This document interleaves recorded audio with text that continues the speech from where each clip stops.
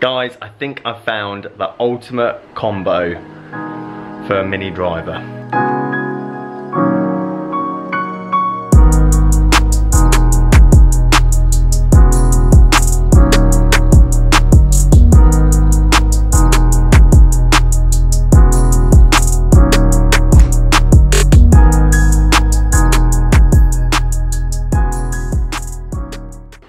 How you doing? Welcome back to a brand new video. It's Simon down here at Burford Golf Lab. Combination, I haven't hit this yet. And seeing as I'm a big fan of Cobra this year anyway, um, uh, I haven't hit the Tour 3 wood. And I've hit it with a normal standard length 3 wood shaft in it, the 6.5, which it comes with, um, uh, or you can get with it, you can obviously get softer. Um, but I haven't put a driver shaft in it, which is exactly what I've done today. So I'm going to hit it with a driver shaft and obviously it's going to go be another inch and a half longer. Um, and obviously you're going to get a bit more club head speed because obviously longer your accuracy, which is the reason why most three wood lengths are three wood lengths is for that accuracy effect. Um, but I'm after raw distance. How far, what ball speeds can I get from a 12 degree, because I've lofted it down, so it was 13, if I can focus, there we go. So it's standard at 13.5 as a tour head. Obviously 15 degrees is normal, so 13.5. I've lofted this down to 12 degrees. So that is the majority of drivers out there on the market at the moment. So address, same loft as a normal driver, but I can hit it off the deck. And me hitting stuff off the deck because I come massively on the inside normally um, is gonna help. So hopefully hit straight shot. So number one, does it go further? Than most three woods, which I'm imagining it probably will.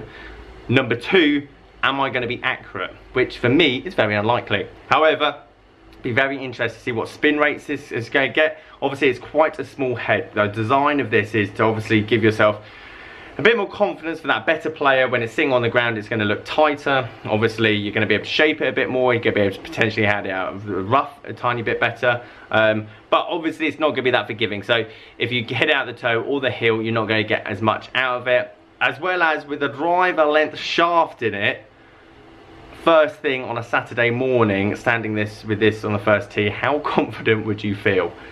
That is uh, that's questionable. But it looks great as I say, I've got an extra stiff driver shaft in it to give myself the best possible chance of hitting this at least 300 yards. I'm looking to get this 300 yards basically and then seeing if that's A, consistent, B, um, achievable, um, and C, uh, like and subscribe. So what we're gonna do is we're gonna hit a few balls, I'm gonna talk over it, uh, give you my overall impression of this Cobra F9 Tour, aka their mini drive I'm calling it, because it's so low, low lofted, um, and hopefully low spinning, that's the design. Right, enough talking, let's hit it. This is quite possibly the most overpowered three-wood combination I've ever come across, with that driver shaft and this head. Um, the head is so tiny uh, and it's so low lofted that I was able to hit this um, a pretty decent way, especially for a three wood. Hitting consistent 300 yard shots with a three wood um, is obviously not the normal, mainly because of the spin rate, mainly because three woods are obviously lofted up quite a bit, so you can not only hit them off the ground, um, but obviously off the tee as well. Um, and obviously backspin helps in terms of forgiveness and trying to um, swallow up that side spin. However, these are the first three hits of the day. Um, as soon as I flick the camera on, um, I just hit all three of these. I was trying to not necessarily go after it, but obviously get a decent amount. And I was averaging about 165 to 170 ball speed, um, and all of them were going 300 yards plus. Now, I have got a driver shaft in it, which does change the dynamics slightly.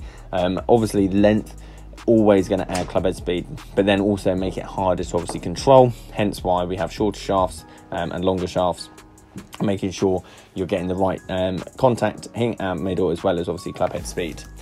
Now, the impressive thing with this is that the spin rate just was so low off the ground. So, for someone that swings it reasonably fast like myself, normally when I hit these kind of clubs, they just balloon into the air, and no matter how hard I hit them or the ball speed I get out of them, they just go into the um, atmosphere, and then all of a sudden, I'm getting no distance or no rollout anyway.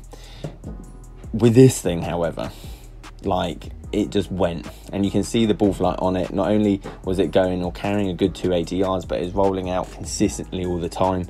Um, and yeah i mean to be perfectly honest i probably feel more comfortable after warming up with this um, than i would with a driver. Mainly because the head is the sweet spot. So if you hit it then you're going to be hitting out the middle pretty much i don't know how comfortable i would be however playing tournament under pressure on the tee Mm, I don't know how I'd probably get on with that.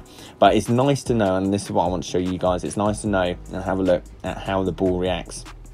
Because there's three components that make a ball go far um, ball speed, launch angle, spin rate. That's it. I And obviously, spin rate's key. Obviously, if your spin rate's too high, you're losing distance. If your spin rate's too low, then you're not carrying the ball far enough. Um, launch angle's obviously key as well because getting that ball up in the air as well as a low spin rate equals that distance. And then ball speed is obviously um, quite obvious. Obviously the faster the ball comes off the face the faster and further it's potentially going to go. Now i caught this one pretty thin but that is the longest shot of the day i think i hit. Maybe a bit further a bit later.